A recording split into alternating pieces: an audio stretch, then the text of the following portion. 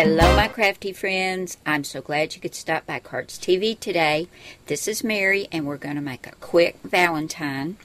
We'll be using the Cricut Sweethearts cartridge, the Cricut Elegant Edges cartridge.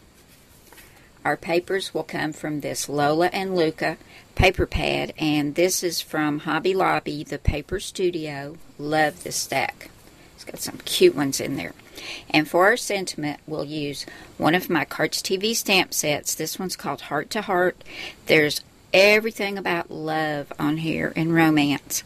Rain or shine, so glad you're mine. You hold the key to my heart, and that's the one we're going to use today. Every day I love you more. I love you to the moon and back. You're my everything. Endless love. My heart, my love, forever yours. Heart to heart.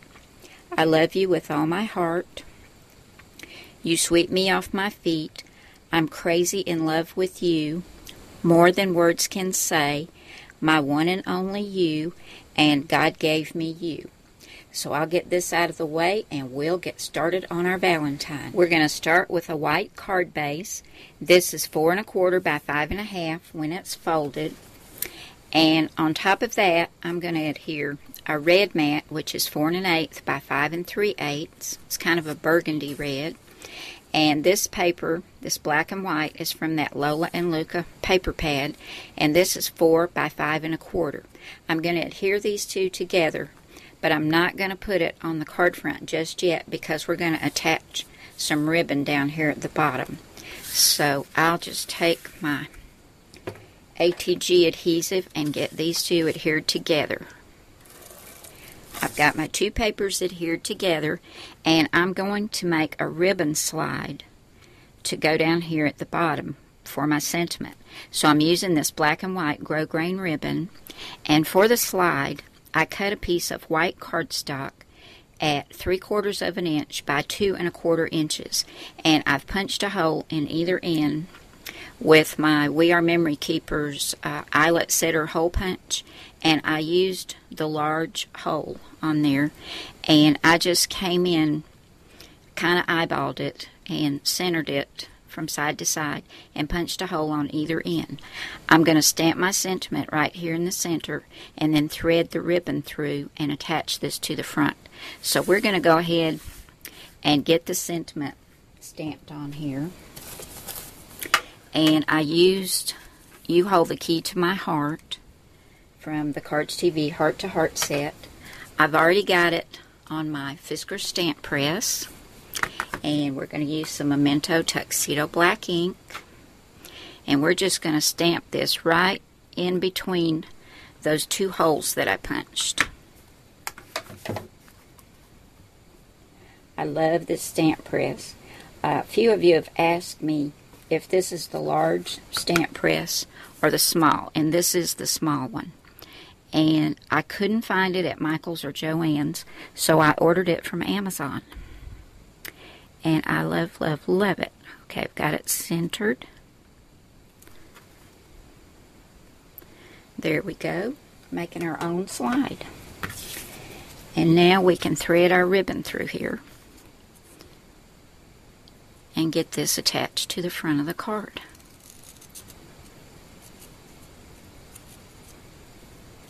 Go down in that side and come up on this side.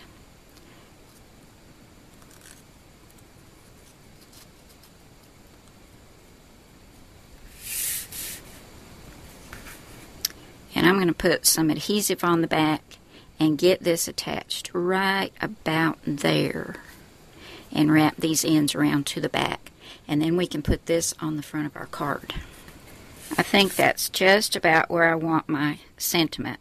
And I've got it attached with the ATG adhesive, but I'm going to add a little piece of tape just to make sure this doesn't move until I get it on the front of my card and the ATG will glide right over that. Now we can go ahead and get this put on the front of our card. There we go. Now to keep my sentiment from moving around, I've put a glue dot under there, and that'll just keep it right there where I want it. Now, from the Sweethearts cartridge, I wanted to cut this lock and key since our sentiment is you hold the key to my heart. And I've cut these out of red and gray. And I cut these at two inches. And here they are. There's the lock. And here's the key. And you can see it's got the gray base and then the red heart that goes at the top of the key. And this red part goes on the top of the lock. And I ran this red part through the Cuttlebug Swiss Dots embossing folder to give it some texture and dimension. I'm going to go ahead and get these adhered together. And I've got a Wink of Stella silver pen that I'm going to go over the gray parts with just to give them some glitter and make it really look like a lock and key. And I'm going to take my two-way glue pen and get these adhered together.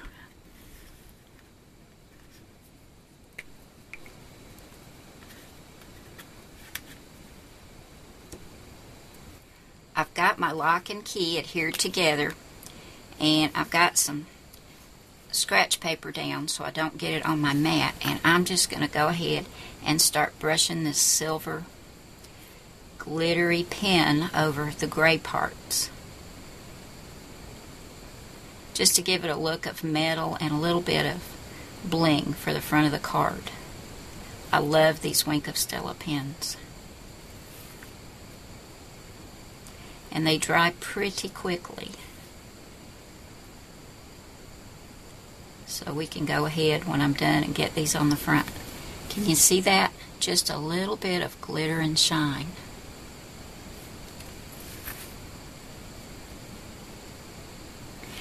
I got my lock and my key all finished and they're nice and glittery and I wanted a mat to put these on.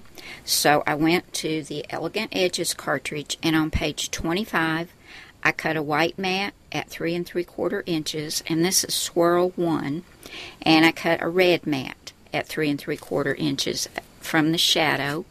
Here they are. I'm going to adhere these together and put these on some foam tape on the front. And you can see I ran the white mat through this Cuttlebug Hugs and Kisses folder. I just love that one. Then I'm going to pop my little lock up on some foam tape right there. The key is going to go here. And we need a little bit more red down there.